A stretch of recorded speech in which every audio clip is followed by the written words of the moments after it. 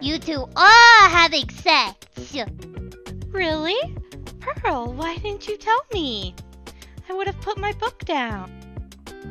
Well, well, I mean, if you want to have sex, that is. Nope. Nope. No, no, no. I'm out. Well, now that she's left. Okay. Well, if we want to, we have to wait one for the video to end and